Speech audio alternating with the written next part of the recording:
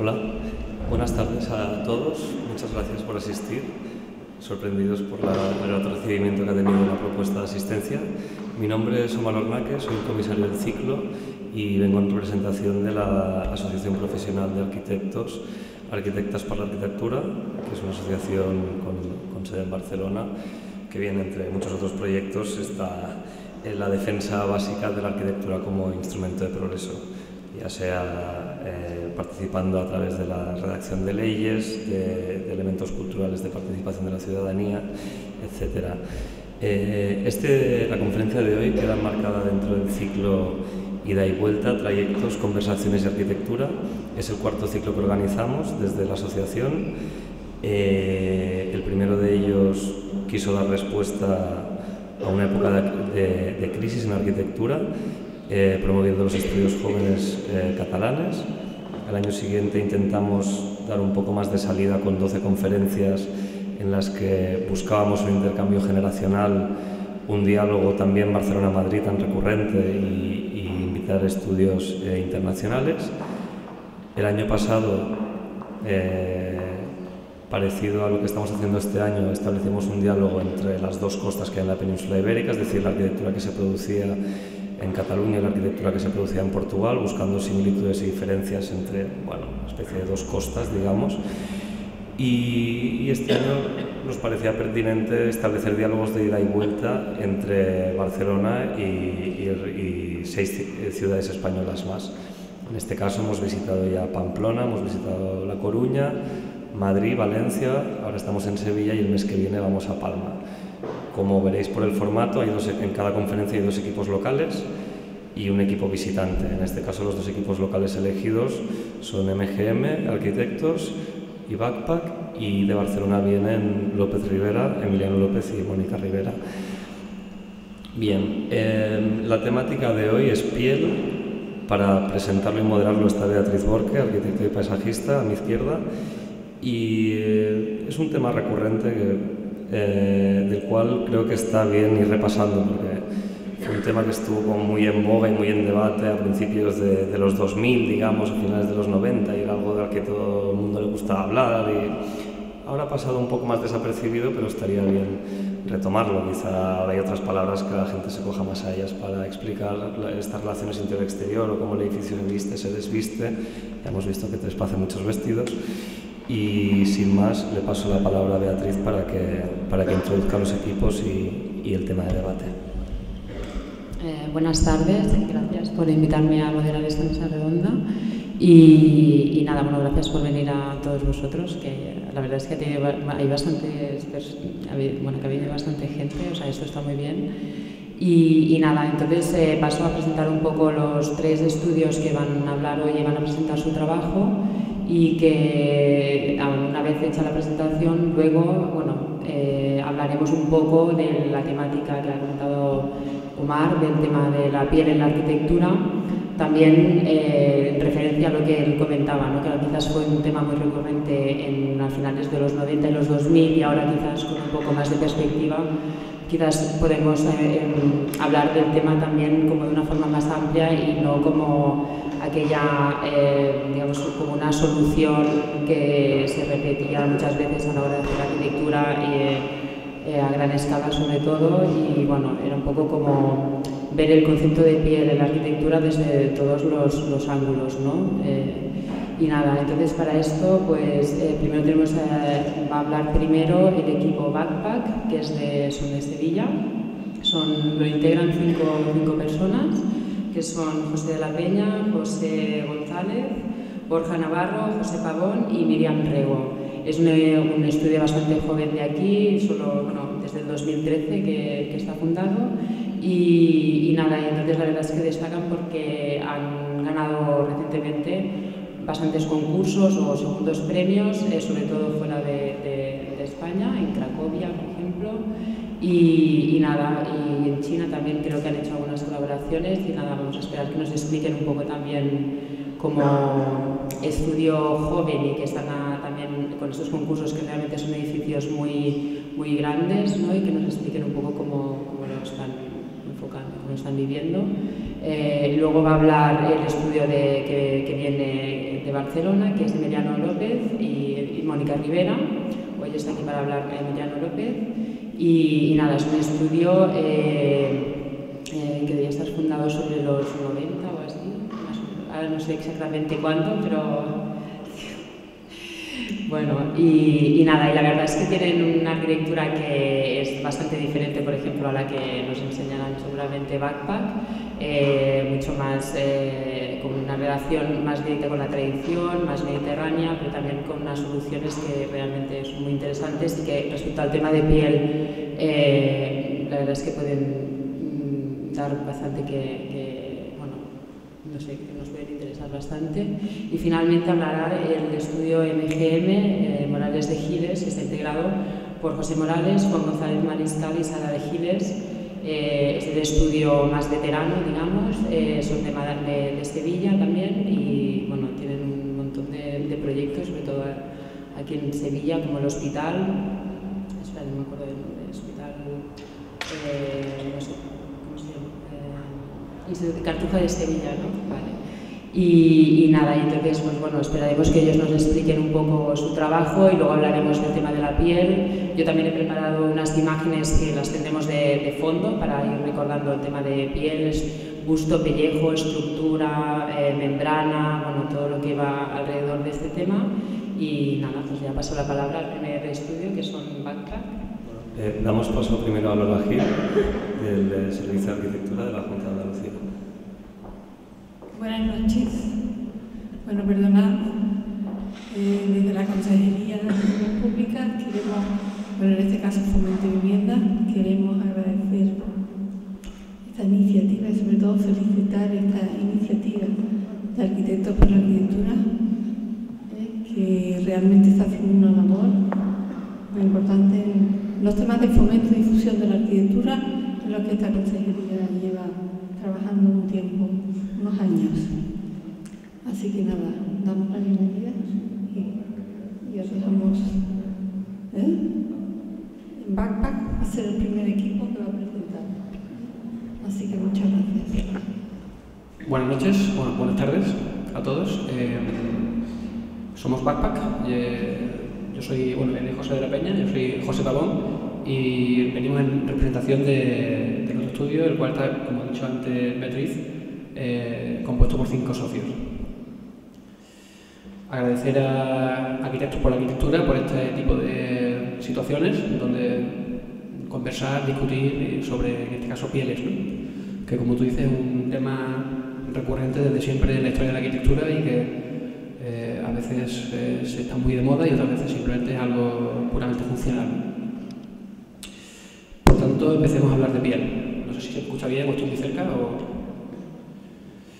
Eh, nosotros vamos a hablar de piel no de forma teórica, sino de forma práctica. Eh, al final entendemos que nuestro proceso de trabajo en la oficina es un proceso muy eh, colaborativo, somos cinco socios y eso nos obliga a estar constantemente en una conversación continua y constante en cada proyecto.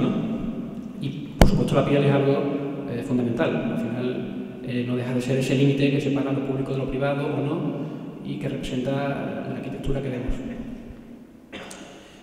Eh, vamos a enseñar tres proyectos y en todos ellos siempre intentamos incluir eh, el pensamiento lateral como parte activa del proceso creativo, es decir, incluir elementos eh, que distorsionan en la línea de desarrollo funcional, estructural y programática, como puede ser la historia, como puede ser el nombre de la calle, o la gastronomía, la etnología, la tipología, la tradición, todo ello nos aporta soluciones que van a ir perturbando y mutando las ideas programáticas o estructurales. En este caso son tres proyectos con diferentes escalas y en diferentes países. Eh, y lo hemos, ordenado con, tres nombres. El primero es piel fuera, el, el medio es piel dentro y el último no piel. Cada uno de ellos va a explorar o experimentar sobre un concepto, sobre una cualidad de esa piel. El primero, como vemos, hay una diferenciación entre una piel exterior y un objeto interior que lo cubre. El segundo, hay una oposición contraria a la geometría entre un borde y un interior. Y el último, aparece un vacío horizontal que necesita no tener piel, o no debería tenerlo. Por tanto, empezamos con piel fuera. Este es un proyecto en, en Jabugo, eh, proyecto para la rehabilitación y ampliación de un edificio de principios de siglo, un edificio de Aníbal González eh, en Jabugo, y la idea fue en su, en su, momento la necesidad de convertirlo en un centro de innovación y promoción del cerdo ibérico. Por tanto, se iba a convertir en el edificio, eh, digamos, imagen del mundo del jamón eh, en el mundo. Nosotros sabíamos que el edificio era pequeño y que había que ampliarlo y por tanto entendimos que era necesario analizar eh, las opciones de ampliación que requería ese edificio. Pero claramente no queríamos añadirle ningún elemento y por tanto empezamos a trabajar en la búsqueda de eh, todas aquellas arquitecturas que se relacionan con el mundo del cerdo. ¿no? Desde, en este caso, el, desde dónde nacen hasta dónde se cura el jamón. ¿no? Todo, ese, todo ese corchete de arquitectura tradicional, industrial, tiendas, todo eso es parte del mundo, ¿no? Del mundo del jamón. Pero había una tipología, que es la tipología de la majada. La majada son estas construcciones que se ha olvidado, una tipología que ha desaparecido, ya si te encuentras alguna por la sierra en la dehesa estará así o derruida, y queríamos de alguna forma trabajar desde, desde este punto. ¿no? ¿Qué es una majada? Pues una majada, eh, como su propio nombre indica, era donde majaban los guarros, es decir, donde eh, nacían los, los, pirinos, que es como nosotros llamamos a, lo, a los.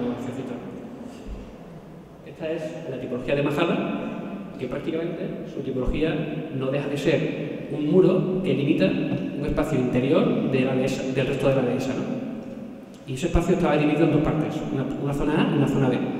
La zona A, que esta de aquí, era donde nacían los, cerditos y donde dormían, ¿no? y se protegían del calor o del frío. Además, en esa época, cada, cerdo era tan, tan, importante, cada cerdito, que incluso el porquero vivía con ellos durante una semana o varios días en ese espacio. Por tanto, era, es una tipología muy, muy interesante. Y por otro lado tenía otra zona que era una zona B, que es la zona abierta, donde los pirinos podían salir, comer y estar en un espacio exterior protegido de posibles cazadores como zorros o gatos o, o, o lo que fuera. Nosotros, en este proyecto, lo que buscamos fue trabajar con esta tipología y hacer una innovación formal y tipológica, basándonos en estos conceptos, en crear una, un límite exterior, en este caso no es, un límite exterior que incluye un espacio no abierto al cielo, sino abierto a una plaza, y una zona A cubierta con un programa cerrado. Pero este tipo de, eh, de estructuras de adobe se hacían con, con tapial, un proceso constructivo que era muy interesante porque además de que era ya un muro estructural, generaba la, propia textura, la propia inercia y lo, resumía todo en un mismo elemento, un sistema constructivo que sacaba el, material del lugar. ¿no? ¿Nosotros qué hicimos? Pues aquí se ve un poco toda la, intervención. Este es el edificio que hemos visto antes, un edificio muy, muy pequeño y requería ampliar una serie de, de usos. ¿no? Eh, como dije antes, era un palacio para usarlo como tiro a pichón y aquí se ve toda la explanada que se usaba para tirar pichón. ¿no? Con el tiempo se fueron ampliando y se fueron haciendo construcciones alrededor. Se plantearon tres usos que eran falta. Uno, un auditorio, que como veremos después se reutilizó, reutilizó una piscina que existía en el sitio y que estaba abandonada, una cafetería o bar que activaba la plaza y un espacio intermedio entre estos dos edificios que generaba como un atrio y un espacio que luego veremos cómo conecta con el concepto de bodega, ¿no? donde los dos corchetes, cerdo y el final del cerdo, se unen. Bueno, y aquí vemos un poco eh, cómo, cómo, esa piel fuera genera estas tres carcasas eh, que se dispersan por este territorio del tiro pichón y que de alguna forma recuperan, pues, por un lado, esa textura de, tablas y, esa neutralidad y, sinceridad que, tenían esos muros de tapial. Aquí vemos el ejemplo de la, de la majada de auditorio. Había una, una piscina abandonada y vimos que era interesante reciclar ese, esa estructura eh, de, de, muros, incluso um, utilizando la, la, la, pendiente para ello. Ahí se ve cómo esta piel, que es una piel que resuelve la estructura, resuelve eh, que, la impermeabilidad del, del, agua, pero permite, por otro lado, una, el aire y que el, viento cruce por él y genera una especie de doble espacio intermedio, no solo en plantas, sino también en sección, que permite pues, acumular en esa doble piel todas las instalaciones que hoy día son necesarias para este tipo de edificios, ¿no? Eh, climatizadoras, ventiladores, mm, todo este tipo de, elementos se esconden entre esa doble piel. Vamos a hacer un pequeño recorrido para que veáis un poco eh, y he explicado este, esta ambigüedad de espacio. Este, por ejemplo, es el acceso a la bajada 3, la del auditorio, donde se ve esta carcasa, esa piel pesada, pero que la vez se hace muy fina en cuanto a la escala que tiene.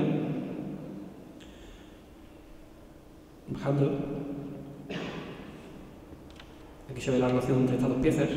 La pieza de la cafetería más pequeñita que se pone a la cota de la plaza.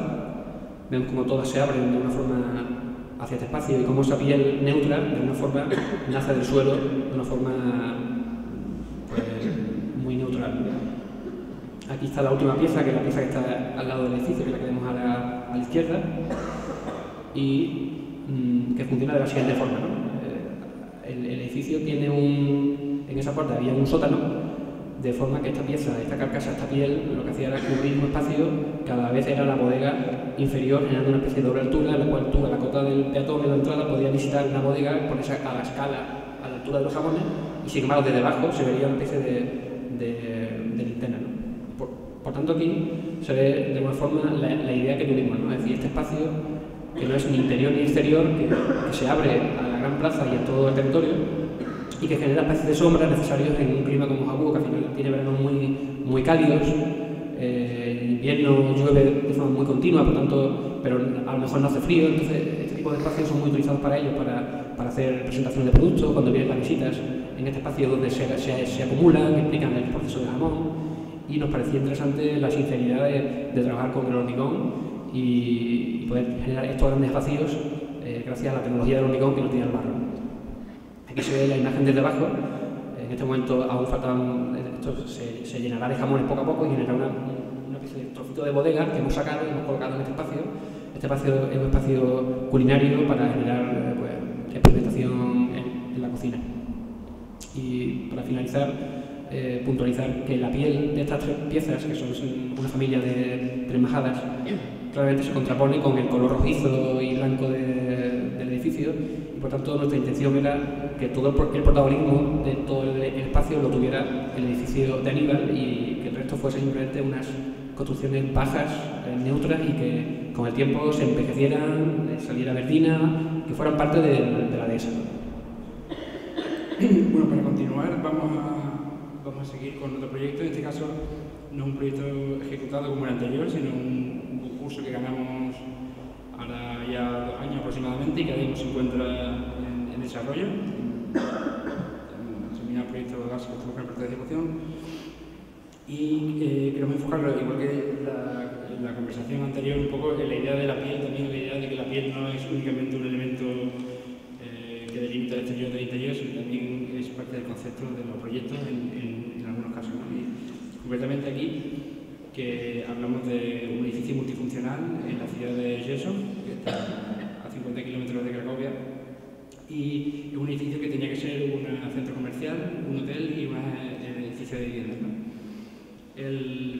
la situación del, como se ve aquí también el plano histórico, el edificio se encontraba, bueno, la parcela, la parcela se encuentra aquí arriba, en este punto, que es eh, cercano a un meandro que ya no existe y limítrofe con el río, y en la parte más alta de la ciudad, en contacto casi prácticamente directo con la, con la Plaza Mayor y, también dominando la vista sobre el río y sobre la fortificación. Eh, como se puede ver aquí, la, posición ya en el plano real del edificio y su posición de la parte alta de la ciudad, que es que aunque no se aparece aquí, domina digamos, toda, la cota de la ciudad baja, el río y la fortificación, y tiene un contacto muy directo ¿no? con, la, con, la, con, la, Plaza Mayor y por lo tanto tiene una importancia con, el, la cuestión patrimonial.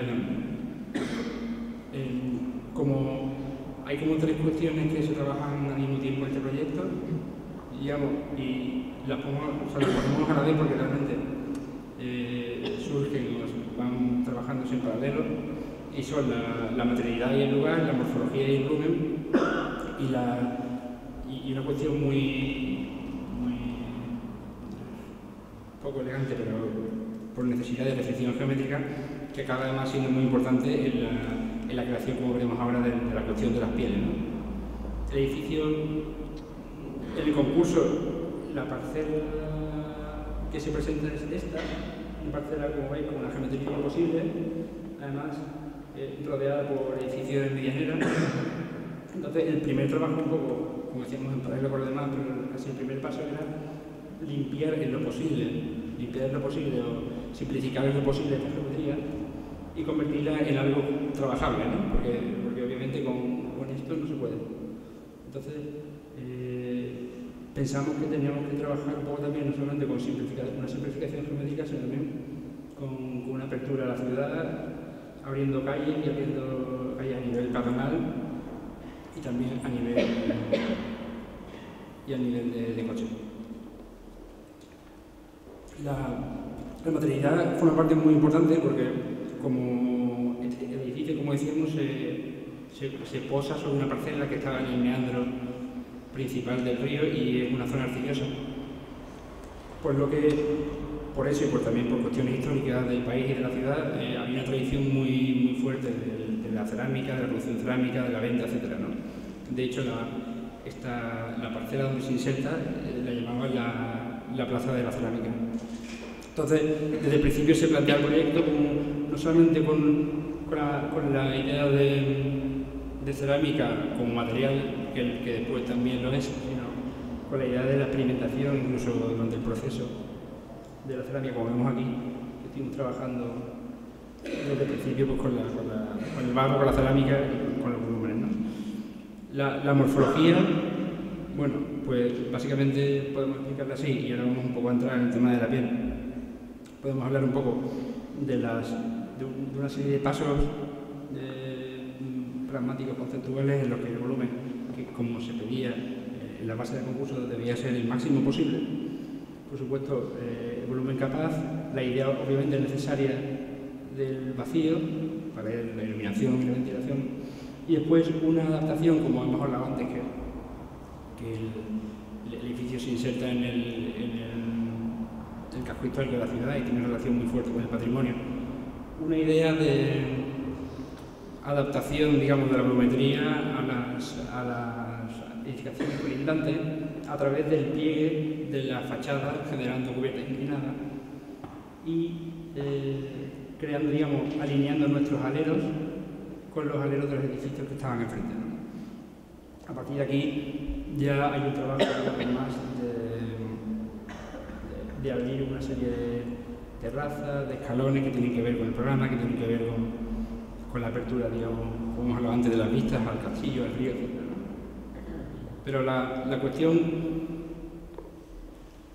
de la que queríamos un poco hablar aquí, que probablemente tenga el interés del tema de la piel, es la, la creación de este vacío, que es, una, es un óvalo de tres radios, que básicamente nace por reacción de oposición a la geometría torturada de la parcela, es decir, para crear un espacio nuevo, un espacio querido y un espacio, digamos, una escenografía nueva dentro del edificio, decidimos generar una geometría que se opone a la tensión del contexto y genera una piel interna que, como vamos a ver un poco más adelante, crea un espacio muy diferente y muy atractivo.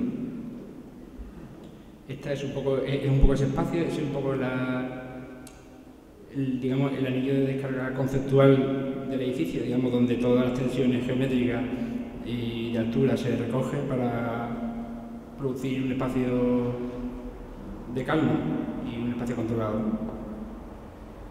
Esto es un poco la geometría, la respuesta del edificio al contexto y cómo se, bueno, que tiene otras cuestiones que no vamos a contar ahora, pero que tiene que ver con una plaza y que tiene que ver con una idea del, del tránsito de dentro a fuera del edificio, pero sobre todo con una idea de contraposición, ¿no? como este edificio que está facilitado, que, que, se va adaptando, digamos, como puede, a unas condiciones de altura y de vecindad, pues se convierte después en, en, al entrar en, en otra cosa. ¿no? Como en todas las plantas, digamos, va a aparecer un poco la, este, este, anillo, digamos, esta piel que es interior, y que rompe con todas las geometrías y que genera esta, esta, ruptura ¿no? que ya en la planta es fuerte, en todos los cortes, por ejemplo aquí en las cortes superiores cuando ya van apareciendo las terrazas. Esta es una sección un poco y esto es un poco lo que, lo, que comentamos, ¿no? Esta, creamos, si bien el edificio cerámico al completo, porque la, eh, esta fachada va a ser de ladrillo colgado de cerámico macizo, un poco lumba, eh, la idea de piel está aquí porque al final aquí generamos una doble fachada y donde generamos un poco la, trabajamos con la cerámica muy adaptada al tipo, a los colores y a la escala un poco que se podría requerir o que necesitar en, la ciudad. Aquí se ve un poco este espacio que, un poco también para permitir pasar la luz y la visión pues está formado de elementos horizontales, de anillos que, que vuelve también a tener una relación con las estrías, digamos, del modelado por revolución, también de la, de la vasija, de la cerámica, etc. ¿no? Y, bueno, buscamos un poco, como he comentado antes, a través de, de la piel, a través de la geometría y a través de, este, esta creación de oposición, una nueva escenografía que es esta, ¿no? que es un espacio que controlamos que, que, no nos es dado, que no nos es eh, impuesto por, por la ciudad ni por la normativa. ¿no? Eh, este era otro concepto que queríamos introducir, aunque no creo que haya mucho tiempo, que, es el tema del no piel, que quizás más que por... porque bueno, es lo más fácil del mundo, ¿no? Bueno, pues presentar a no piel, que es lo más sencillo. esta, idea la presentamos un poco porque este es el último proyecto que hemos, que hemos ganado el pasado diciembre y que estamos ya que estamos desarrollando actualmente, aunque ya en, fases todavía muy, muy iniciales. Es un, edificio muy grande para los grandes almacenes Tallinna Kaubamaja, que son, digamos, como el corte inglés de Estonia, en Tallinn, la capital. Entonces, básicamente, este, este edificio, que, este parcela muy grande que se encuentra un poco en el límite entre la ciudad financiera de Tallinn y, el vacío previo a la ciudad amurallada, pues no, el concurso un poco pues, esta, nos daba esta parcela muy grande. Y falta una, una parcela muy grande con un planeamiento bastante, bastante difícil de trabajar con él porque obligaba a una volumetría eh, no controlada y bueno, volvíamos a tener muchos problemas con el volumen y básicamente poco para, para acelerar aquí. Creamos un edificio que se va adaptando a las alturas eh, rompiendo parte del planeamiento, aunque parece ser que no hay problema en, perturbarlo, rompiendo también con la idea tradicional de atrio que se nos requería en el concurso y, sacando los atrios al exterior y creando una especie de gran edificio que se escalona, que va generando su programa digamos, de forma escalonada y cuya, cuyos espacios principales, cuyas, cuyas comunicaciones oblicuas, verticales y horizontales se encuentran siempre en el perímetro y, se, y se van abriendo de forma perimetral, de forma que se va teniendo un poco el edificio de afuera, de forma continua. Esto lo, traemos porque en realidad este edificio que ahora está en desarrollo eh, conlleva una idea de gravitación entre piezas, es decir, una idea de vacío eh, de estos espacios que son de comunicación, que son de relación, que son de estar, que, que nos lleva a preguntarnos, digamos, cuál va a ser la solución técnica para esto, porque obviamente estos espacios no van a ser espacios abiertos porque en Estonia, en Tallinn, en invierno hace unas mínimas de menos 30 grados, por lo que obviamente son espacios cubiertos. ¿Cómo hacemos un edificio donde hay que, tiene mucho, mucha envoltura, pero que de repente hay una piel que, desaparece, ¿no? Y eso cómo, cómo se construye, cómo se hace. Y, un poco ahora mismo lo que estamos trabajando. Yo creo que sería una, una de las cuestiones quizás a, a proponer, porque hay muchas referencias ahora interesantes de, de, la idea un poco del edificio que gravita sobre su propio vacío, etcétera, que, que nosotros en, este proyecto proponíamos. Como veis, tiene, siempre tiene una circulación, los espacios un poco azules son los que se abren a la fachada siempre y están pegados, digamos, a, los límites del edificio. Y son por tanto estos espacios sin piel, estos espacios que no. Bueno, que, si estuviéramos estarían al aire, pero que por el lugar donde uno puede estar. Y que y es lo que queremos trabajar, ¿no? Y estamos ahora mismo desarrollando, de hecho, ¿no? Entonces, la, en desarrollo de este espacio tiene que estar geometría ¿no? real, eh, desarrollando tres de las cuatro fachadas que tiene el edificio, bueno, tres de las cinco fachadas que tiene. Y, bueno, esta era un poco una pregunta que queríamos dejar en el aire y tal, aparte de quería enseñar la última cosa que teníamos, ¿no?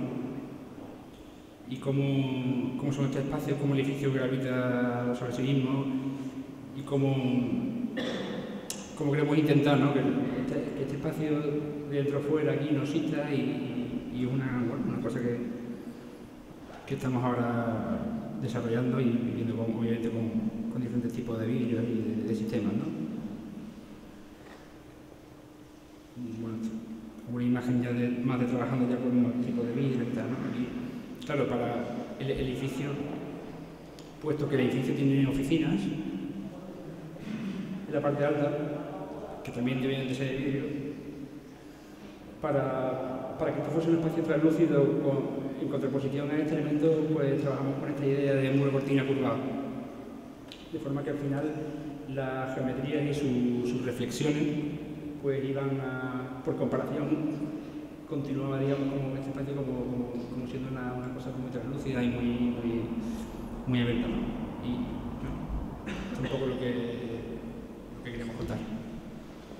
Muchas gracias.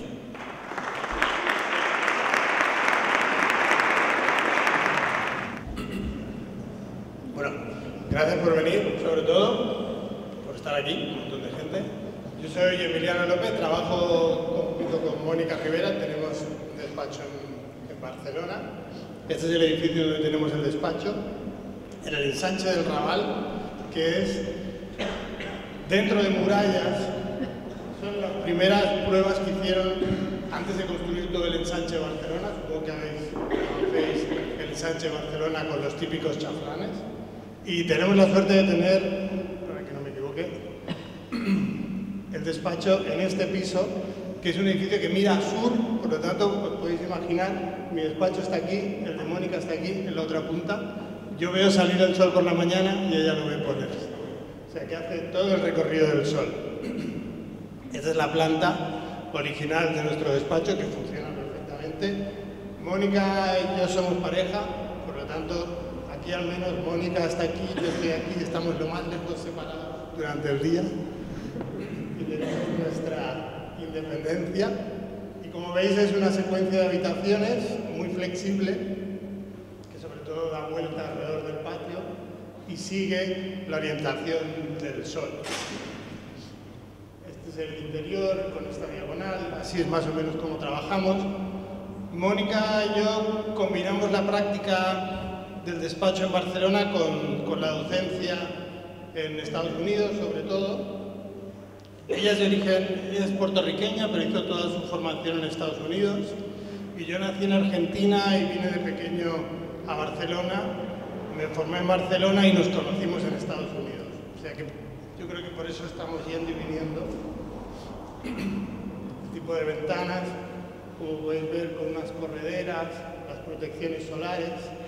Y estos son los edificios que tenemos delante. El nuestro no es el más bonito y tenemos la suerte de ver estos edificios que son pruebas que se hicieron antes de la construcción del ensanche. En el ensanche las galerías normalmente están hechas hacia el interior y en estas pruebas hay como excepciones como estas galerías, estos espacios intermedios que siguen funcionando perfectamente, que dan a la calle. O estas galerías también de cristal que promueven esta, esta actitud activa hacia la arquitectura que nos interesa. Estas son fotos que vamos coleccionando con Mónica desde que empezamos. Pensar que cuando, como decía antes, creo que llevamos 15 años trabajando juntos, Hace 15 años sacar una foto era un proceso complejo, pero os enseñaré simplemente tres fotos, pero que dan el tono de, lo que nos interesa, lo que miramos o lo que prestamos atención. Esto es una rehabilitación de una casita eh, colonial en Puerto Rico, que es un restaurante que se llama La Casita Blanca. ¿Y qué nos interesa? Es este espacio que es un balcón muy estrecho que propicia una mesa para una persona con una barandilla, un balaustre bien gordo, que hoy en día nadie que se precie, ¿no? podríamos decir, se atrevería a diseñar un balaustre de este tipo. Pero fijaros cómo los 90 centímetros, los 70 centímetros es perfecto para apoyar el brazo. El brazo casi sin esfuerzo está eh, aguantando la página del libro que está leyendo. unos elementos vegetales que generan aquí una atmósfera e incluso una flor. Estas cosas cotidianas es lo que nos interesa. O en la Casa Bloc de Ser, en Barcelona, como los 40 centímetros que hay entre la estructura y el pasamanos propicia estos espacios de identificación. La gente pues, necesita identificarse dentro de esta repetición y dan lugar a que pasen estas cosas. O por ejemplo, esto es un bar en un mercado en Mallorca que lo interesante es que el bar se coloca en un puesto de mercado que es un poquito más profundo de lo que sería un bar normalmente. Si diseñáramos esta barra tendríamos la barra, las neveras, el pasillo y aquí pondríamos un espejo con las botellas normalmente. ¿no? En cambio, entendemos que como hay mayor profundidad, da justo para tener estas pequeñas mesitas aquí que generan una interacción entre el que está pidiendo en la barra y el que está comiendo hay esta memoria de que uno siempre quiere volver a ese bar para conseguir una de esas mesitas y poderse sentar aquí. Y además, la gente que está comiendo sirve de reclamo para los nuevos clientes para ver qué es lo que quieres pedir. Se genera esta tensión visual que es perpendicular a la tensión o la energía de la, gente trabajando. Esto como resumen de lo que nos interesa está más desarrollado en este libro que nos publicó una editorial suiza, que lo titulamos Umbrales Domésticos, por esta idea de entender esos espacios gruesos, casi que no es que usemos mucho la palabra piel en, las discusiones con Mónica, sino más bien la palabra umbral, nos interesa más entender esta profundidad de los espacios. La introducción de este libro se desarrolla sobre esto que os acabo de explicar brevemente. En el libro el libro recoge los siete proyectos que hemos hecho más de carácter doméstico, el estudio con Mónica, y más o menos nos centramos en este grosor de este espacio intermedio entre el interior y el exterior, y es la línea argumental. Me centraré ahora en tres proyectos, los tres últimos proyectos que hemos terminado en el estudio. Esto es una rehabilitación que hicimos en Santiago de Compostela, una pequeña casa al lado de la plaza del Obradoiro, que la reconvertimos en, apartamentos turísticos, que para nosotros fue una alegría poder trabajar con una galería tradicional gallega, en este caso la reconvertimos con Cedro, cuando en el 2003 habíamos propuesto para unas viviendas sociales construir unas galerías en Barcelona, en este caso con ventanas de cocina, podríamos decir, estas Graven, llevadas al máximo tamaño para conseguir una superficie vidriada en los balcones que fuera fácil de limpiar para la gente, no fuera peligrosa, porque al abrirse las lamas bajan un poquito y te quedan aquí 7 centímetros para poder meter la mano y limpiar los cristales era la mayor superficie de vidrio que podíamos conseguir para poder mantenerse limpiándose de dentro. Por lo tanto, poder trabajar con una galería gallega fue como una alegría. Como veis, el edificio estaba en estado ruinoso, la fachada protegida, lo único que hicimos fue cambiar los elementos por elementos eh, nuevos, pero con la misma configuración y el mismo sistema. Este es el estado de la galería posterior. Y es una pequeña casa de tres plantas, una galería posterior, la galería a fachada norte, esta galería sur, dos grandes camelios en el patio y la posibilidad de construir un pequeño pabellón al fondo de este jardín. con esta dualidad de Galicia, sobre todo de Santiago, que las calles son granito y los interiores son absolutamente verdes. Incorporamos una caldera de biomasa. La ciudad de Santiago no tiene gas, está toda la ciudad climatizada con electricidad y no están permitidas las placas solares. Pero imaginaros, con la humedad que hay en Santiago, y parece increíble, según el constructor, no se ha construido nada con biomasa en la ciudad todavía. Este es el primer edificio que se hace con biomasa. Además, justamente aquí veis la entrada de la biomasa, que era la antigua entrada del carbón para las calderas. Y luego nos permitieron tener unas placas solares, unos tubos de vacío planos en la cubierta del pabellón para calentar el agua de este espacio de agua, digamos, en el medio del, del jardín. Conservamos los suelos de castaño. Para conservar los suelos tuvimos que mantener las vigas y proponer unos puntales para evitar la deformación excesiva que tenía.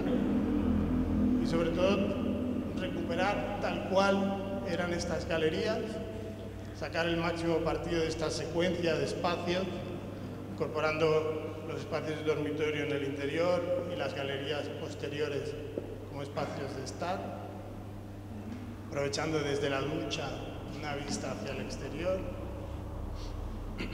y trabajando estos espacios intermedios como la galería en planta baja, un espacio comunitario, todo el pavimento y todo el trabajo del jardín en granito es trabajo nuevo, trabajando con un picapedrero de la zona y incorporando esta piedra en el interior proponiendo este espacio como un espacio a caballo entre el interior y el exterior, este espacio de agua para bañarse y un nuevo pabellón que también se apropia de este espacio estrecho al final. Como veis, seguimos dibujando a mano un pabellón ligero que reflejara la estructura existente todo este trabajo de piedra y esta relación entre los dos edificios con esta galería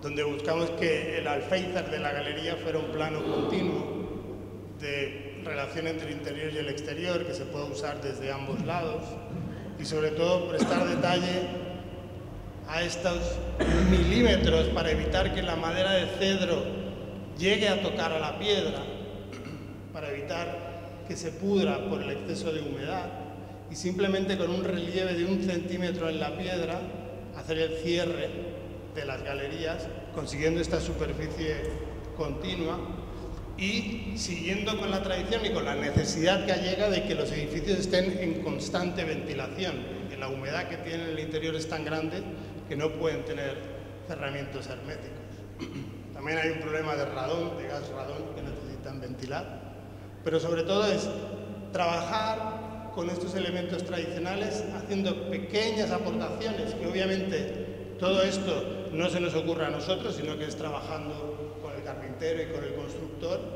para evitar justamente lo que habíamos observado al principio, que todos estos encuentros con la humedad provocaban estos deterioros. Y siguiendo con las ventanas de guillotina, proponemos este pabellón de madera contralaminada.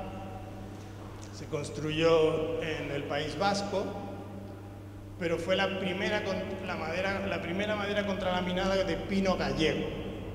Un constructor muy entusiasta de Galicia que quería hacer el, el CLT con pino gallego construimos este pabellón con, pino gallego y estas ventanas de guillotina más abstractas para reflejar el edificio existente y aprovechar estos espacios también comprimidos entre el, el pabellón y los muros de piedra existente para un espacio de agua. Pero sobre todo entender estos espacios de transición entre interior y exterior, que son espacios ambiguos, pero sobre todo son espacios climáticos. En este caso, en el norte, mucha humedad, viento, agua, evitar la entrada del agua. Y en Cataluña, para una pareja de ingleses que viven en Manchester, en una casa de ladrillo oscura, que se quieren construir esta casa en el Mediterráneo, planteamos una celosía continua que genera también este espacio intermedio, una celosía que no solo protege del sol, de la incidencia del sol, sino también de las vistas. Esto también es cuando te proponen, queremos una casa completamente abierta. Pero es que si está completamente abierta también te van a ver desde afuera hacia adentro. O sea que algún tipo de filtro tenemos que plantear. Y decidimos construir una celosía cerámica. Como veis, estas son todas las piezas que componen la celosía. Las piezas cerámicas las trabajamos con un ceramista, Cumella, que es un ceramista de tercera generación en Cataluña, que para que os hagáis una idea, trabajaba las cerámicas de Picasso y de Miró. Y él nos decía, puedo hacer lo que queráis, decirme lo que queráis y lo hacemos. Nosotros le decíamos, no, queremos la pieza más sencilla, la pieza más barata que nos puedas hacer. Decía, pero si os puedo hacer lo que queráis, la pieza que queráis. No, no, no, la más barata. ¿Cuál es la más sencilla? Bueno, lo más barato es las baldosas que hago de suelo. Y además las construimos así, extrusionadas en dos, y luego ¡pac! se abre y genera dos baldosas. Digo, bueno, con esto. Entonces, desarrollamos este sistema con unas, unas máscaras para barnizar la pieza y evitar tener barniz en donde se colocaban las piezas de celosía y que además dieran adherencia, como veis, y sirvieran de guía en el montaje de la persona que monta la galería. Como veis aquí, esta es la doble pieza que no está partida, el despiece de todas estas piezas para el montaje. Y aprovechar también la celosía para incorporar una reja que pueda cerrar completamente la casa en planta baja.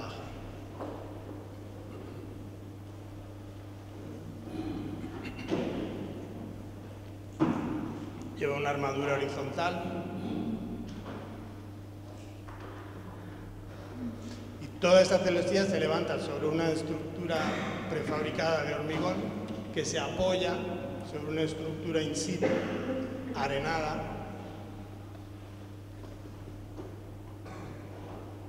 que en la esquina una se apoya sobre la otra y nos permite generar este salto para esconder este rollo y nos propicia también un banquito entre el interior y el exterior de la galería.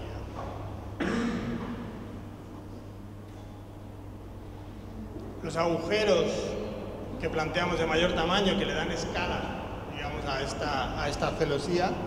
También planteamos una reja, una reja corredera para poder cerrar completamente la casa y que esta reja siguiera la trama de la celosía cuando estaba plegada y que de alguna manera desapareciera detrás de la celosía.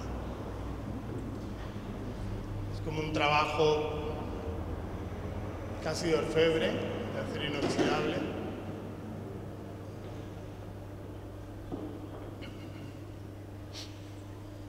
y estas ventanas que sobre todo las usamos por dar una escala que la celosía no pierda la escala del edificio. Incluso de noche la sombra es fuerte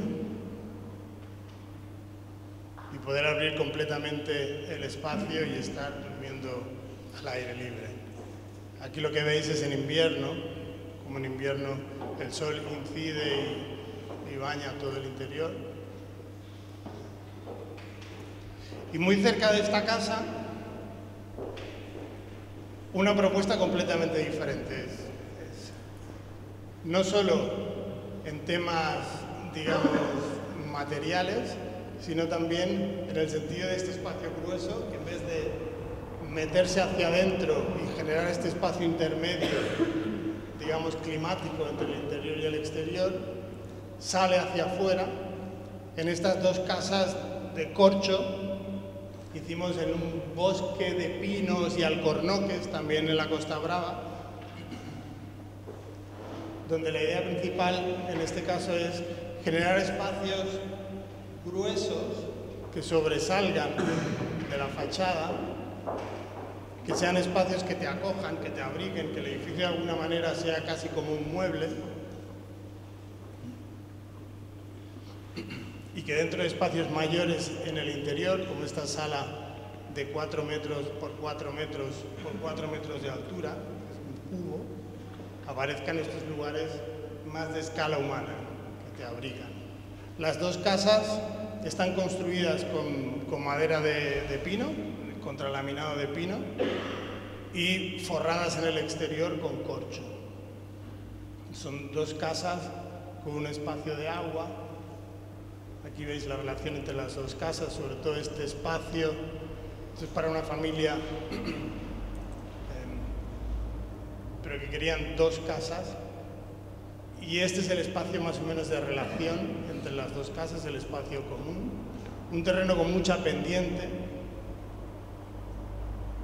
Aquí veis las maquetas de las casas y la pendiente pronunciada. Y lo que buscamos en esta pendiente es generar un plano principal en la casa mayor, entre el interior y el exterior, pero que sea un espacio continuo, pero con diferentes alturas, que fuera desde la parte posterior del bosque hasta este palio que tiene vistas hacia el mar. intentando respetar en este caso al máximo los pinos existentes. Tiene una secuencia también de espacios sin pasillos y de transición también entre ellos, utilizando los muebles para albergar, albergar toda la vajilla como, como transición hacia la cocina y estas ventanas de guillotina, aprendiendo de todas las experiencias de Galicia, etcétera para generar esta relación entre el interior y el exterior en este espacio más de encuentro, en este espacio de aquí.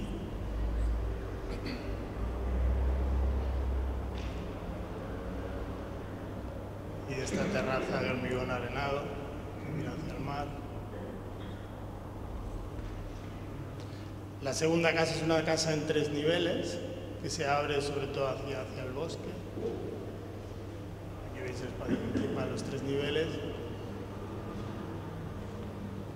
Y una habitación superior como final de recorrido, donde también trabajamos esta extensión de la ventana, en este caso como, como una mesa, como un pupitre, y entender estas habitaciones no solo como dormitorios, sino como piezas de estar y que tengan otras actividades incorporar estas actividades en la casa.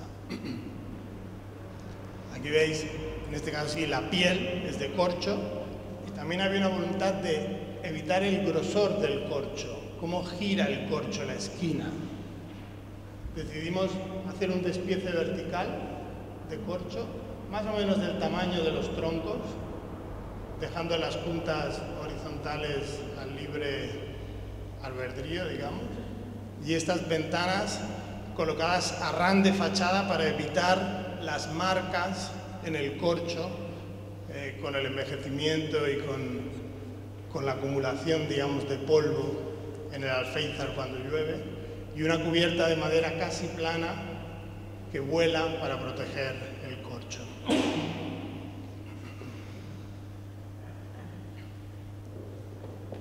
Por tal, el origen de las piezas de corcho son de 50 por un metro por el grosor que tú decidas.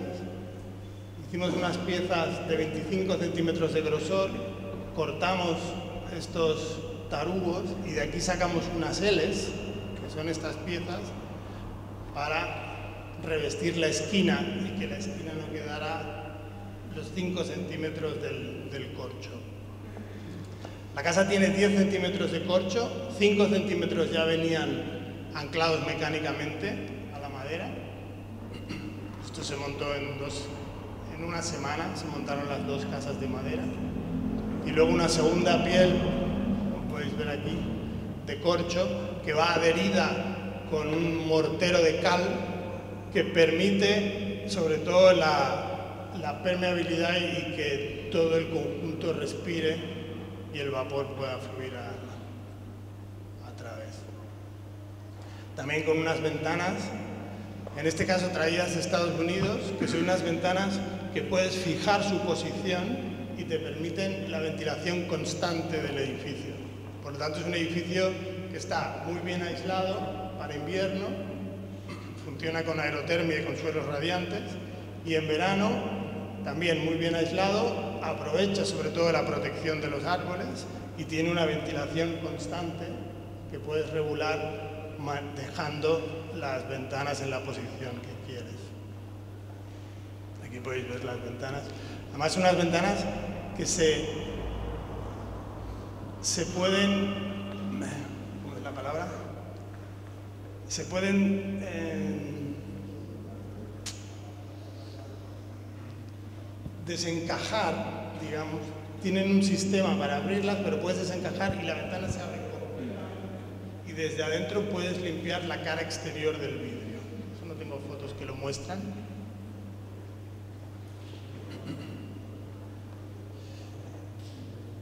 Y esta idea de, de, juntar todos estos materiales, unas carpinterías de acero, lacadas al horno, el corcho, el hormigón arenado, que tiene una textura parecida al corcho, y la presencia de los troncos constantemente en la obra.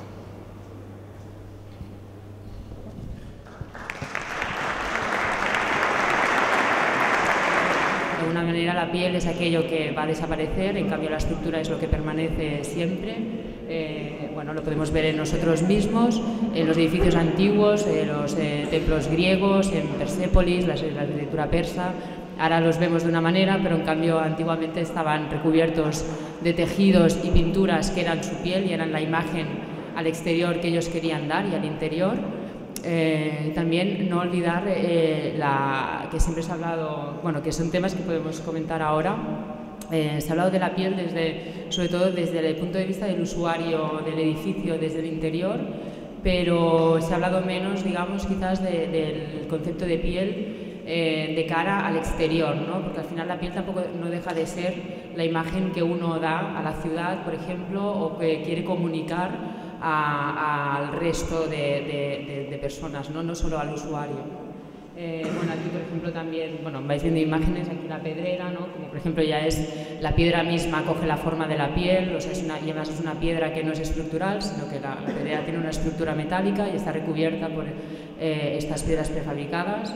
Eh, bueno, esto es lo que comentaba de Persepolis, pero bueno, era un poco hablar de, de, de la idea de piel, pues como, como, en este sentido pues más efímero, también eh, veréis imágenes de la idea de piel más a lo mejor en la línea de lo que ha estado comentando sobre todo Emiliano y también eh, José, de, de, sobre todo la, la, la piel como un filtro, como una membrana que es capaz, digamos, de de crear un ambiente en el, en el interior, de, de, filtrar o de de alguna forma matizar eh, lo que el, el confort o la, la, sensación que uno puede tener como desde el interior de la arquitectura, ¿no?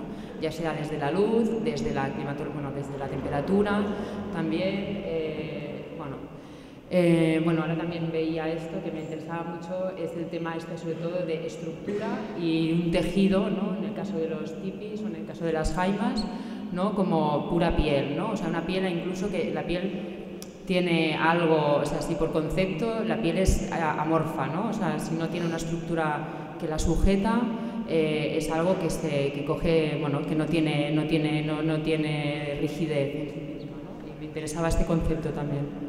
Eh, bueno, entonces hay otras imágenes, además del concepto de piel que nació más quizás en, en los años 90, 2000, como de edificios ya directamente eh, Ah, bueno, perdón, y esta imagen, por ejemplo, del Umbracla, y este que es también un, un proyecto de Emiliano, que es eh, la piel como cubierta también, ¿no? Como estos filtros, no solo la piel, la piel en fachada, sino también la piel en, cubierta, ¿no? Eh, bueno, y lo que iba a comentar ahora de eh, la, piel también como un elemento de comunicación, ¿no? las, las, fachadas que son capaces de interactuar, por ejemplo, como la Torre de los Vientos de Toyoito, que cambia de color y de forma eh, según la, la, el viento, digamos, según la, fuerza del viento, la orientación. Eh, también el edificio Mediatic de Brugeli en Barcelona, otro tipo de edificios, o la fachada LED, por ejemplo, de la Carita Navarro en Madrid, ¿no? como la, en este caso la, piel es puramente una pantalla o una comunicación hacia el exterior, que en el fondo las otras pieles digamos, que habíamos comentado antes o más tradicionales también no dejan de ser un, elemento de comunicación hacia, hacia el exterior. Em, y también finalmente veréis, bueno, que va más lento, lo digo para empezar ya a hablar, eh, la piel cuando se desliga totalmente de la estructura, ¿no? que lo podemos ver en el edificio de Medialab Prado, también de la Carita Navarro, que digamos la estructura está por fuera y dentro estaría lo que es amorfo, lo que es la piel, y, y en otro ejemplo que ahora no recuerdo que he puesto, pero bueno, un poco era como ver todos las, las los aspectos de la, de la, piel y sobre todo eh, teniendo en cuenta que es esto, que no es un elemento, eh, me, interesaba como remarcar el tema de que no es un elemento estructural, su condición de filtro y de membrana, su condición también amorfa y también efímera. ¿no? Y un poco en este sentido, pues eh, me gustaría también a, comentar con vosotros de cara a cuando bueno, en vuestros trabajos, ¿no? la, la, idea esta de, por ejemplo, la piel como elemento efímero, ¿no? porque al final lo que define la piel es, aquello que se puede realmente, que es lo que no quedará del edificio seguramente. O si lo tenéis en cuenta o si es algo que realmente os habéis planteado en algún momento.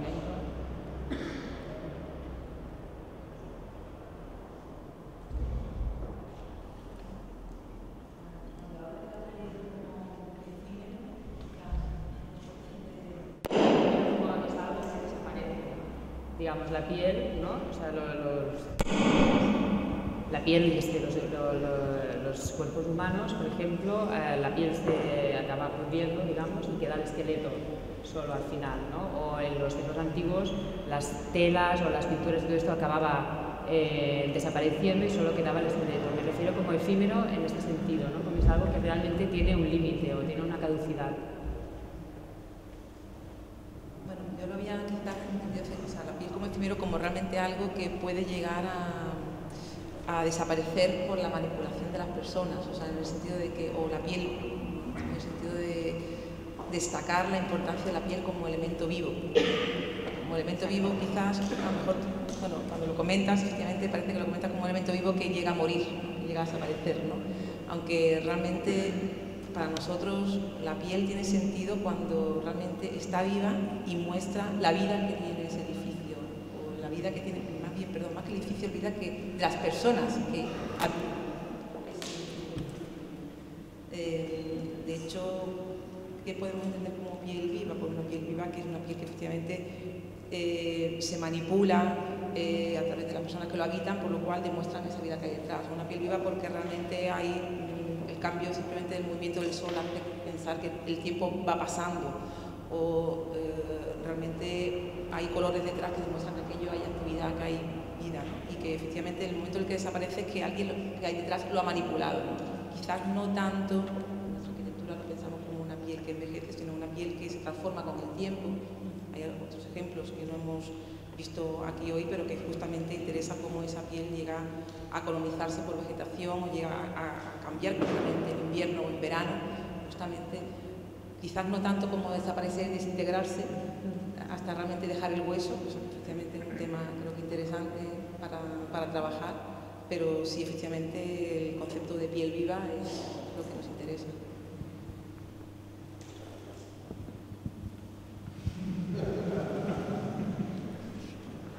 Bueno, lo de la piel viva es interesante, ¿no?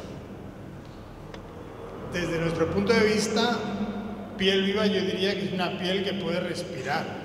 Las casas estas de madera y de corcho que os he enseñado, la prioridad era esa, entender que es un sistema, toda la fachada que está vivo, o viene directamente de materiales vivos, que no son materiales pétreos, y que nos ayudan a sentirnos mejor en el sentido de que la madera es uno de los materiales de la construcción que más se adapta sobre todo a los cambios higroscópicos y a las diferencias de humedades. Cuando hay un clima muy seco, la madera deja ir agua, deja ir agua es un catalanismo, suelta agua, digamos, suelta humedad, y cuando el clima es muy húmedo, la madera lo absorbe. En ese sentido, con un revestimiento exterior de corcho, todo el sistema es permeable al vapor.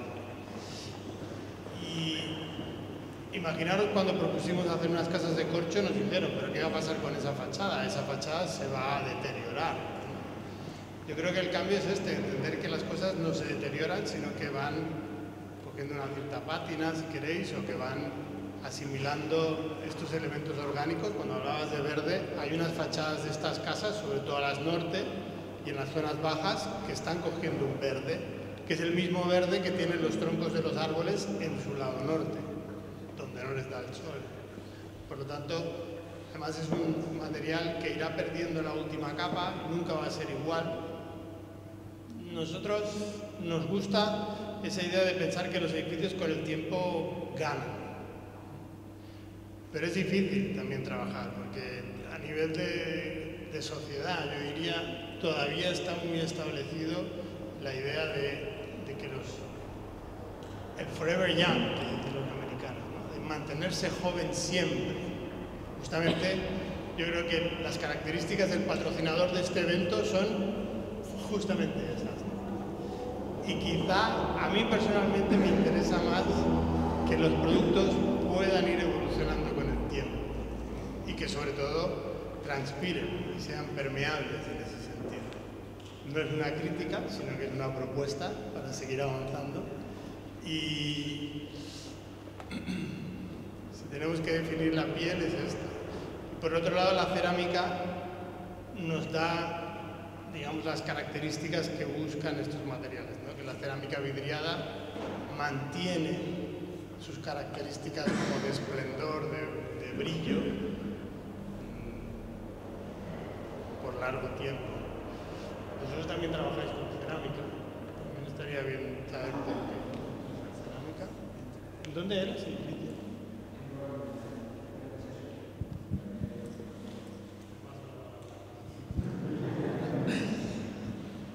Pues nosotros, eh, la idea del efímero en las fachadas es algo que yo creo que depende mucho de dos, de dos cosas. ¿no? Primero, la tecnología que le apliques a esa fachada y eh, la, funcionalidad. Mm, yo recuerdo cuando estaba estudiando y vi esta casa de Ruiz de esta que es una especie de dos patitas que se eleva de hormigón y, y él decía en una conferencia que su fachada tenía milímetros, ¿no? Yo decía, hostia, milímetros, ¿no? Yo me quedé flipando, ¿no? Esa idea de que había una especie de bolsas, ¿no? De aire que yo no conocía nada de eso y, entendí que al final mis abuelos no podían haber hecho eso, ¿no? Por tanto, yo creo que que la tecnología en nuestra arquitectura hoy en día, sobre todo, es, fundamental en todos estos proyectos que estamos trabajando, que no lo eran en, las casas eh, en Santiago, que usaban una tecnología de otro tipo, pero era piedra y madera, ¿no? eran materiales eh, que se sacaban por artesanos. Nosotros, en ese sentido, por ejemplo, el tema de lo efímero, en, en el proyecto de Jabugo, que eran estas piezas de hormigón, nosotros ya en sí, la, ya, la idea era casi tres ruinas, tres majadas que habían quedado, que habían quedado abandonadas y por tanto podéis entrar en ella. Si esas piezas en el futuro se abandonan, seguirán siendo un espacio donde la gente pudiera ir por la tarde a, leer o a jugar con sus amigos a, las cartas o lo que sea. ¿no? Por tanto, esa idea de que la piel debe de, desaparecer, en este caso era la estructura, por tanto hay una idea de, de efímero, porque es una pieza que se coloca mm, sin, sin puertas ni nada, pero que yo por eso creo que, que lo ambiguo en lo, lo que es em, efímero y no, en la arquitectura siempre es eh, dudoso. ¿no? Y tampoco he resuelto nada, pero eh, le paso la palabra a mi compañero. Bueno, yo por ir un poco al extremo, quizás cuando has dicho lo de desnudar el cuerpo, ¿no? que al final lo que queda es el, el esqueleto, me ha dado por pensar que quizás a lo mejor, bueno, eh, lo que queda después de eso es la estructura, ¿no? el hormigón, el acero, que hoy en día es un tema que está bastante recurrente, hay mucha rehabilitación, sobre todo si nos vamos a Centro Europa, en el que los edificios se están denudando totalmente, se están acristalando y están enseñando eso que, había dentro de la piel. Y de algún modo se le, está, se le está dando una nueva vida a los edificios con una imagen muy contemporánea, pero que al final lo que hacen, no, lo que hacen es eh, enseñar lo que, lo que había dentro y que de algún modo nunca estaba, ¿no? que todos los diferentes filtros que se habían puesto, tanto la piel exterior como las distribuciones interiores, todos esos acabados, de algún modo no nos estaban dejando, dejando ver. Entonces, bueno, eso a nivel de lo efímero que, que puede llegar a ser, ¿no? me, parecía como, me parece interesante el extremo el que estamos trabajando hoy en muchas rehabilitaciones, que, en el que la piel y prácticamente todas las diferentes capas que la componen han desaparecido y se, y se muestra la sinceridad, ese hueso del que, del que hablaba. Sí, no, más que nada era como, bueno, a partir de lo efímero, como algo negativo, como que vaya a desaparecer, era ese proceso, ¿no? O sea, como recalcar el proceso de que es algo, bueno, que me ha gustado lo que, lo que comentabas, de que es algo vivo, ¿no? Realmente también había ejemplos aquí de, de, de vegetación y también el tema del musgo como una nueva piel que aparece, o sea, que se va como, ¿no? como algo que, que, pasa y que, que se, hay un nuevo proceso, pero sí que es verdad que, claro, tiene como un, un, un proceso diferente ¿no? al que sería la estructura, ¿no? La piel es la que está expuesta de, de, alguna manera y es la que, la que tiene, es más sensible de alguna forma a sufrir pues, el, el paso del tiempo y al final quizás ¿no? como que vaya desapareciendo o haya que cambiarla, ¿no? como en el caso de la madera etc. ¿no? No, y me refería también, bueno, respecto a lo que tú comentabas, al tema de la tecnología y tal, bueno, que en realidad la tecnología también tiene una fecha de caducidad, ¿no? Al final, digamos que la tecnología tradicional no deja de ser tecnología también, ¿no? O sea, el trabajo, eh, ¿no? Bueno, me refiero a que o sea, como comentabas tú, ¿no? que, parece que ahora como porque tenemos más recursos a lo mejor dura más, pero no necesariamente tiene que durar más, ¿no? O sea, que a lo mejor de aquí 100 años o de aquí 200, pues no, no, no, no es lo mismo, ¿no? Y, bueno, y después la, otra también el tema era también el tema este de como la piel como algo comunicativo, ¿no? Si os lo planteáis eh, a la hora de, digamos, de trabajar eh, los, proye los, proyectos o la, imagen que, da ese, ese edificio a, la ciudad, por ejemplo, ¿no? Más la, piel como imagen.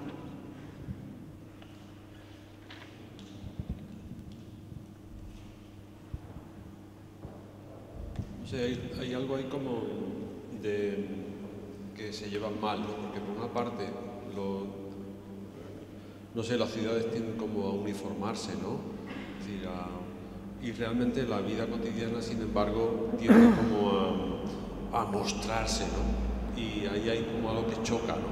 Decir, por una parte queremos las ciudades eh, como, como solo, digamos así, como, como un escenario ya terminado, pero sin embargo realmente la, las ciudades que más nos apasionan o los edificios que más nos, realmente nos, eh, nos impresionan ¿no? son, son, aquellos que hablan de la vida cotidiana. Es decir, en qué, en qué medida la arquitectura pueda compatibilizar una cosa con la otra, realmente hará de, es lo que hace que realmente al final te acuerdes de una ciudad. ¿no? Dice, bueno, pues eh, el sur, dice, bueno, pues el sur siempre, en cierta manera, uno tiene una imagen de una calle de Nápoles, ¿no? todas las, todas las, las, las calles tendidas de ropa, con el sol dando, con el viento pasando, aquello moviéndose, vibrándose. Claro, eso es todo lo contrario o, o realmente eso es la vida de las ciudades más importantes, ¿no? que uno puede vivir o pasear o recordar y se llevan mal en cierta manera, ¿no? la ciudad uniformada frente a la, a la, a la ciudad un poco vivida. ¿no? yo creo que en ese, en ese lío en, ese, en, el la arquitectura está luchando continuamente, ¿no? Es decir, intentar como eh, no hacer como, como una gala ¿no? de las ciudades con gala, sino ciudades que sean más como una muestra ¿no? continuamente de, de, de, ese vivir. En, en, Oriente es un tópico, pero es, una, como sabéis, en el Oriente, pero Oriente de verdad, ¿no? Es decir, realmente hay un dicho, ¿no? antropológico, realmente la casa cuando eh, deja de transformarse, deja de cambiar, realmente es que se aproxima tu muerte, has muerto, no vas a morir.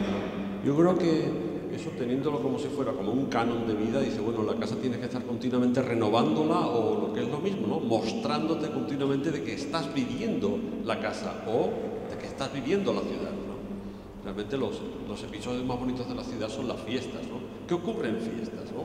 Pues que realmente la ciudad se transforma por las calles, por la gente, por las voces, por las ropas, ¿no? Eso lo vemos en nuestra ciudad, ¿no? es magnífica. Dentro de poco, pues la gente pondrá los, los mantones ¿no? en los balcones, ¿no?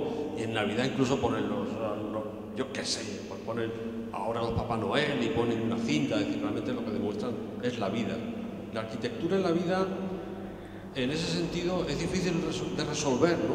pero yo creo que es una meta. ¿no? Por tanto, de uniformar ¿no? la, la ciudad quién sabe si las fachadas. ¿no?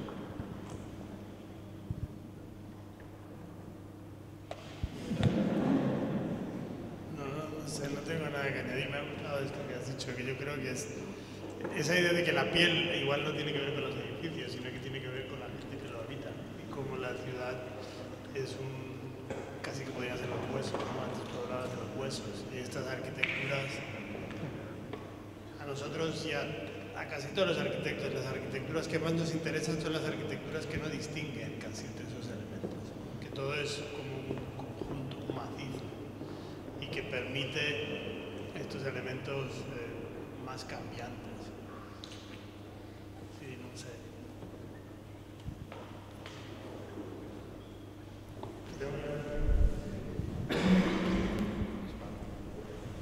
Bueno, estaba. Ahora mientras os escuchaba hablar, que estabais dando vueltas al tema de la piel, etcétera, que cada uno lo trata a su manera, bien distinta. eh, eh, es un creo que como lo tratamos, que lo estamos tratando a partir de las vanguardias, es decir, hay los edificios, evidentemente todos se visten, pero cada uno se viste a su manera. Y de la manera en que lo estamos tratando ahora, como de un vestido que revista un esqueleto, etcétera, es un tema que se puede empezar a hablar a partir del hormigón armado, es decir, a partir de que se desliga la estructura de la fachada. ¿no? A partir de ahí podemos empezar a hablar de que si se coge, se deja de coger, si se adapta o no, cuando la estructura y la fachada era una misma cosa, eh, de lo que estamos hablando creo que eh, toma otra relevancia. A nivel de, de, lo que podía ser una fruta, por ejemplo, eh, el edificio que tiene una fachada portante, con lo cual no es algo que luego puedas desmontar en un momento, volver a, ¿no? o manipular fácilmente, sería más bien una fresa, ¿no? que no se puede ni pelar, que es algo que, que tiene que ver con la carne misma del edificio y a lo que nos lo que nos lleva al desarrollo pues, por la tecnología, ¿no? de, hacer edificios de hormigón, de acero, etcétera, que lo podemos desligar tiene más que ver pues, con, no sé, con un melón, por ejemplo, con una cáscara, ¿no? una cáscara que, que queda totalmente disgregada, la puedes masticar y queda una cosa aparte. Lo que es, y ahora estamos viendo cosas totalmente extrañas que pasan en Barcelona y supongo que en Sevilla también, que es desollar los edificios, es decir, los edificios que son antiguos, como gusta la fachada, digamos, como da caché, como da un poquito de empaque, eh, dejan fachada que tiene una función estructural y sencillamente es una máscara, una máscara que no tiene nada que ver con lo que está sucediendo dentro. Creo que eso también es importante, ¿no? Como el, el patrimonio está haciendo que nos quedemos con pieles pero sin tener el sentido de la relación que tiene con el edificio en sí, con la arquitectura, creo, creo que eso es, es bastante importante. En fin, eh, en cuanto a esto que decía de las pieles y de los gruesos, siempre me ha hecho, me ha interesado la, la arquitectura de, de, López Rivera porque parece que esté entre medio de la cáscara, ¿no? Es el espacio que, que, que está dentro del umbral, ¿no? Que, que comentabas y, y, siempre te acerca a, a, a, estar más, como te acerca a estar más cerca de la carne, creo, ¿no? El, el hecho de trabajar estos umbrales, estas relaciones, no sé, siempre parece interesante y supongo que es un motivo importante del trabajo. No es una pregunta, es una reflexión. Sí, sin más. No, bueno, en, en, el, claro, lo que comentaba Omar ahora respecto a esta, las modas estas de, mantener la fachada, bueno, venía un poco la línea de lo que tú decías, ¿no? Esta cosa de, uniformizar, ¿no? De no perder, digamos, este ADN de las ciudades, este orden o esto que hacen los urbanistas, ¿no? Que es como decir, la ciudad tiene que ser así, o se decía antes, ¿no? En urbanismo no, no, no, puedes poner estas ventanas, no puedes tal, ¿no? Que, al final, ¿no? que es como el, el, hueso, bueno, es lo que tú comentabas, ¿no? que el hueso es casi como, como la piel. Eh, no sé si vosotros tenéis algo que decir, como el tema este de la comunicación, a lo mejor con el edificio este, el que habéis ganado, el, el último que habéis explicado, que comentabais no piel. Bueno, ahí tenía una pregunta que no, no entendía el concepto de no piel, ¿no? porque al final en el fondo siempre hay como una piel, ¿no? Imagino que era como la idea de como en, en, la estructura de lo que habéis explicado, que era como eh, una fachada exterior, digamos, luego un patio interior, y el concepto de no piel no lo entendía y precisamente era el, el, edificio en el que a lo mejor la piel para mí era como, o el concepto piel, así, eh, como algo como una envolvente que quiere además dar una imagen eh, como reflectante y potente y tal, pues era como el más evidente, ¿no? Por eso como me ha sorprendido un poco como el concepto de, de no piel. Bueno, así.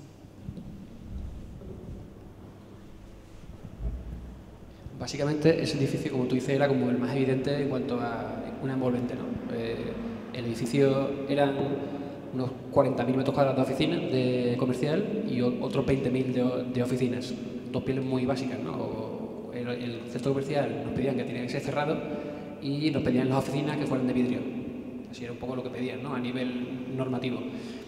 Entonces nosotros, nuestra incorporación fue la idea de sacar los atrios al exterior, ¿no? que toda la vida eh, interior de cafés, eventos y, y, tiendas, digamos, monobrand, fueran hacia afuera, generando una atracción por parte, un poco lo que decía Pepe, ¿no? es decir, sacar la vida, que la vida fuera algo activo en, la ciudad ¿no? y no generar fachadas eh, sin vida, al final lo interesante de un edificio que te atrae porque puedes ver algo del interior, ver cómo la gente se mueve, todas esas acciones que ya describía Josh Perek en este libro tan interesante, ¿no? De la vida e instrucción de uso, donde se establece una relación entre todos los habitantes de, un, de una vivienda, eh, pues eso era algo que para nosotros era fundamental. Cómo hacer que la gente de dentro tuviera una relación con la ciudad en un centro comercial y cómo desde fuera esas actividades de sentarte a tomar un café, de ver a la gente en una conferencia, fuera algo atractivo para convertir ese espacio comercial en un espacio social, que era un poco lo que planteamos en, en la base. Entonces, claro, queríamos que ese espacio fuera muy transparente. Esa grieta que el edificio se abre y se rodea. Nuestra duda siempre fue si fuera en un país pues, como Lima o un país donde hay un clima continuo, hubiese sido un espacio abierto, completamente abierto. No hubiésemos puesto ningún vidrio, hubiese sido un espacio. Pero claro, en Estonia, con un clima eh, donde ahora mismo puede haber, hoy hemos hablado con ellos y estaban menos 18 grados, algo así, Allí todos los espacios tienen que tener doble puerta, todo tiene que ser interior, los espacios que nosotros aquí utilizamos en nuestra cultura de umbrales no valen para nada, son espacios oscuros que, te obligan a quitarlos. Entonces, la duda era cómo hacer de esa grieta una piel que no, hubiera, que no hubiera piel, ¿no? porque no queríamos que hubiera nada. Por eso trabajamos con una piel muy rugosa en todo el edificio, cortada solo por ese elemento que vamos a intentar que sea todo de vidrio, maineles, toda la estructura va a ser un vidrio eh, muy transparente. Es un poco, era nuestra duda, ¿no? Cómo hacerlo que fuera muy transparente. Y estamos en ello a ver cómo lo conseguimos, ¿no? Y por eso planteamos esa duda de que cuando no quieres tener piel, pero tienes que tenerla, ¿cómo se hace? ¿no? Un poco estamos ahora en esa lucha para conseguirlo, pero no, sabemos si lo conseguiremos o no. Bueno, a ver si alguien tiene alguna pregunta o alguna reflexión. Sí.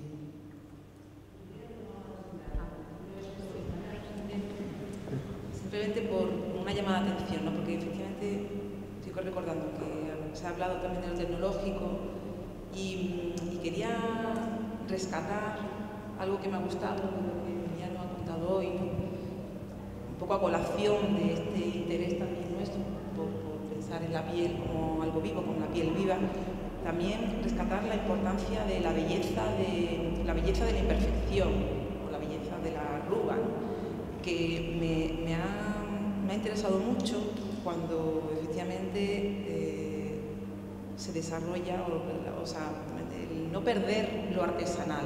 Cuando has mostrado el cerramiento de esta vivienda en el que claramente es, es un trabajo de orfebrería, artesanal de la reja que sigue el retuerce con la misma geometría que el otro, me, apasiona.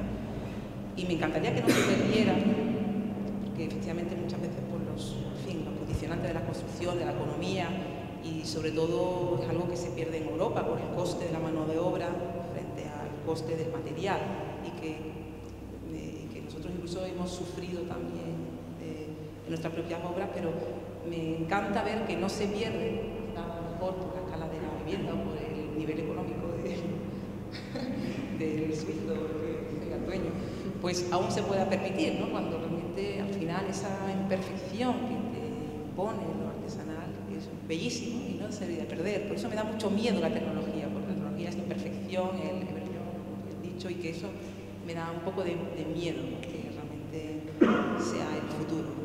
Creo que tenemos que valorar todavía esa calidez de la de la piel artesanal como, como que es, la arruga también es bella. Yo creo que siempre está la imagen esa, ¿no? De, lo decía Sara, ¿no? De la película, la película de, de Jacques Tati, ¿no? De mi tío, aquella, aquella fachada o aquella casa que era todo automatizado, que hablaba, que te hacía todo solo, que prácticamente te asombraba, ¿no? de que te abriera la puerta, de que te condujera el camino, de que se iluminara cuando todavía no habías entrado. sin embargo, la casa de, su tío, que era la casa aquella en la que las puertas no cerraban, de que la ventana no abría, de que realmente uno no sabía si salía o entraba de, para llegar a su casa, cuando, cuando tenía que recorrer la fachada para entrar realmente en la casa, que era en el ático, etcétera, etcétera. Y de bueno, de ese lío estamos hablando, de ese pánico a la que la tecnología nos lo dé todo un poco como, como una especie de partitura en el que solamente te toca como repetir lo que ya está escrito, ¿no? Bueno, en este sentido, claro, a mí también, claro, con el, tema de piel, ¿no? que siempre está como más asociado exacto, últimamente al tema más tecnológico, como alguna membrana súper inteligente, ¿no? que lo puede hacer todo, y como recuperar, exacto, ¿no? la piel ¿no? con sus verrugas, con sus pliegues, con su, ¿no? con su con, incluso como yo que sé, antes hablabas del ornamento, he puesto aquí una imagen de barroco porque casi que el ornamento me parece una verruga y, me parece, y es bonito, y es, o sea, como una manipulación de esa propia piel, ¿sabes? Como una protuberancia que sale, ¿no? O sea, todo eso que sale, digamos, de la capa más superficial de alguna forma, por error o por voluntad, digamos, ¿no? que tiene que ser algo como también bello, bueno, como imagen, ¿no? Bueno, un poco bien tendríamos también aquí ya otro debate más actual sobre la imagen, ¿no? O sea, sobre la perfección, ¿no? O el cuerpo perfecto, digamos, o la imperfección y los cuerpos imperfectos, pero bueno, este ya es otro, otro debate, pero bueno, está muy relacionado, ¿eh? es un poco lo mismo. Y, bueno, nada, si tenéis ninguna pregunta, eh, creo que ahí detrás hay eh, un poco de catering para tomar algo, hacer un aperitivo.